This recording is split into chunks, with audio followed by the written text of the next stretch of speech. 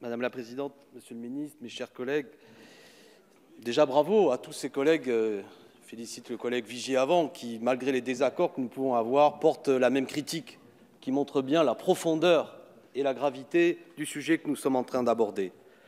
Cette affaire est d'importance, indiscutablement. C'est sans doute une des plus grosses privatisations françaises, tous secteurs confondus, et actuellement la troisième privatisation mondiale. C'est dire combien ce sujet n'est pas secondaire, c'est un sujet majeur, stratégique, politique, presque d'ordre philosophique, disons-le.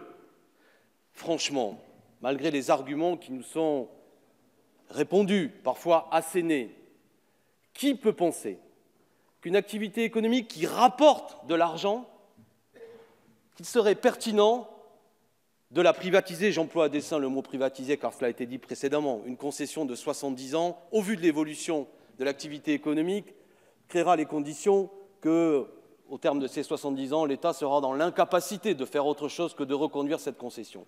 Et donc, qui peut penser qu'il y aurait un intérêt pour la nation, pour l'intérêt général, à ce que nous fermions le robinet de recettes qui peuvent être déployées justement dans d'autres secteurs? Car c'est bien ça le sujet.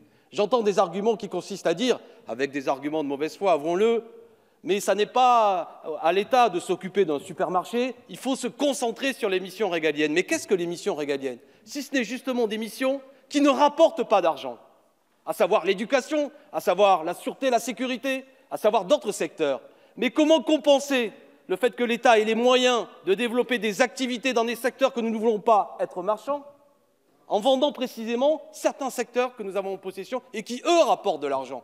Où est la logique là-dedans? Il n'y a aucune logique, si ce n'est une volonté sectaire, je tiens à le dire, idéologique, une forme d'obstination qui consiste à dire, et pardon du jeu de mots un peu facile, à l'image d'un sujet grave tel qu'il s'est développé, la seule réponse que vous nous faites, c'est hashtag balance ton aéroport. Point final.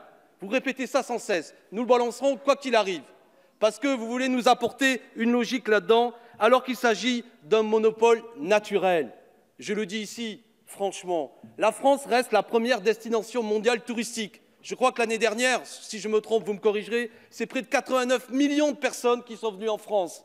Et j'entends dire que nous serions en concurrence avec l'aéroport de Francfort ou de je ne sais trop quel pays. Vous voulez faire croire que quand quelqu'un qui habite dans un autre pays veut venir en France, il va aller atterrir à, Francfort? Mais cet argument ne tient pas la route, c'est absurde. Et de grâce, en... et précisément, c'est un argument qui, ne tient pas, vous le savez très bien. Nous devons maintenir aujourd'hui la situation telle qu'elle est, nous nourrir du passé. En 2013, par exemple, l'État avait cédé 13% des actions d'ADP, 13%, notamment à Vinci, non sans doute que l'on entendra à nouveau, et au Crédit Agricole. Aujourd'hui, ces actions ont doublé de valeur. Peut-être qu'il eût été plus intelligent de ne pas les céder. Nourrissons-nous des exemples. Vous n'avez pas d'argument pertinent, si ce n'est un matraquage idéologique qui consiste, et ça devient suspect, je vous l'avoue, mes chers collègues, à dire qu'il faut absolument privatiser, indiscutablement, en offrant une possibilité de rente à des groupes privés. À des groupes privés. Il y a aussi un autre argument que je voudrais avancer, celui de la double caisse. De quoi s'agit-il? De la possibilité, même si une concession est accordée à un groupe privé, et j'emploie encore à nouveau une privatisation, à ce que ce, celui qui serait l'acquéreur puisse continuer à augmenter les redevances aéroportuaires en réalisant encore des bénéfices records sur les recettes, les, les recettes commerciales, notamment des différentes boutiques. Monsieur Xavier Vuillard, un des responsables de Vinci, a bien compris la chose et a dit dernièrement dans la presse, dans tous les aéroports où nous sommes, le modèle intéressant, c'est la double caisse. Et c'est bien ça le problème. C'est que ça ouvre la possibilité qu'il y ait euh, véritablement un effet d'aubaine par les recettes qui seront réalisées dans toutes les boutiques, et ça n'empêchera en rien, bien au contraire, le fait qu'il y ait les redevances aéroportuaires qui continuent d'augmenter. Là, nous nous privons aussi d'un outil qui vise éventuellement à limiter ces redevances aéroportuaires, qui pèsent sur l'activité, euh, sur, sur l'activité et notamment d'un point de vue stratégique qui pourrait nous permettre de faire en sorte qu'Air France, notamment, ne soit pas en situation difficile. Je le répète, les arguments que vous avancez consistent à dire euh, qu'il faudrait se concentrer sur les missions de l'État, mais quels arguments donnez-nous pour faire en sorte que nous puissions nous priver de ce qui nous permet justement de nous redéployer dans d'autres secteurs? Et puis je voudrais donner un dernier argument, peut-être au vu de l'actualité le plus fort. En faisant ce que vous êtes en train de faire, vous décrédibilisez totalement, vous ridiculisez, vous anéantissez le débat national que vous êtes en train de mettre en œuvre.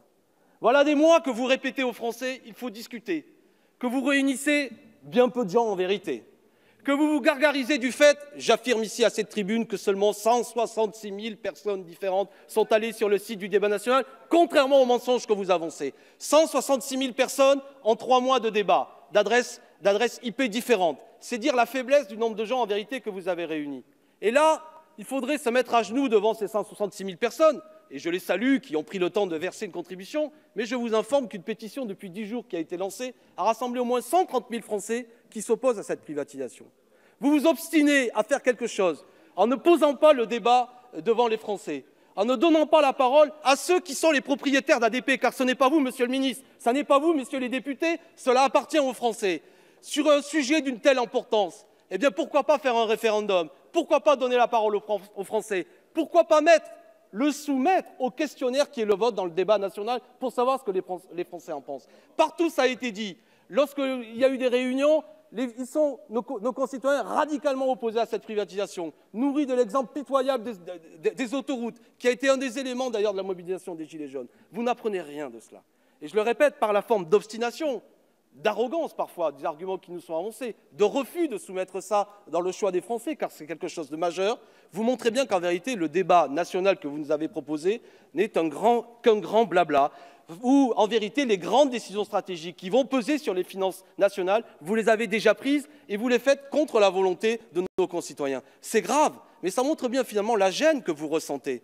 Car en dernière analyse, nulle personne ne peut comprendre que nous cédions une activité qui rapporte dans les caisses de l'État, qui nous permet une fois de plus de développer des secteurs, notamment des services publics, alors qu'il y a tant de besoins dans ce pays. Face à ça, c'est un effet d'aubaine, un effet qui se traduit en dernière analyse, vu le manque d'arguments, dans une certaine opacité. Une concession, et je termine là-dessus, comprenez-le bien, mes chers collègues, ce n'est pas une menace, mais qui introduit le doute dans ce que vous faites, une fois de plus.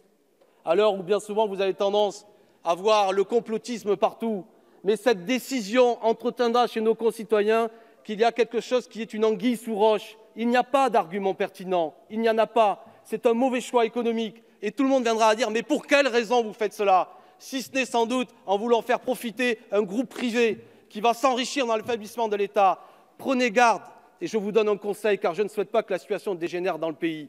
En faisant cela dans un moment de grande tension, où nos concitoyens ont été mobilisés, soutiennent le mouvement des Gilets jaunes, vous grattez une allumette supplémentaire autour d'un baril de poudre, vous créez les conditions d'une rupture encore plus forte entre nos concitoyens et les élus. Le consentement à l'autorité va être encore plus affaibli. Nous en sommes là. Je dis donc qu'il serait raisonnable de revenir à des choses simples. Gardons ce qui constitue la richesse de l'État. N'allons pas dans des aventures économiques absurdes. Ne cédons pas des secteurs stratégiques à des intérêts privés. Défendons l'État, défendons la République faisons-le pour le bien de la nation.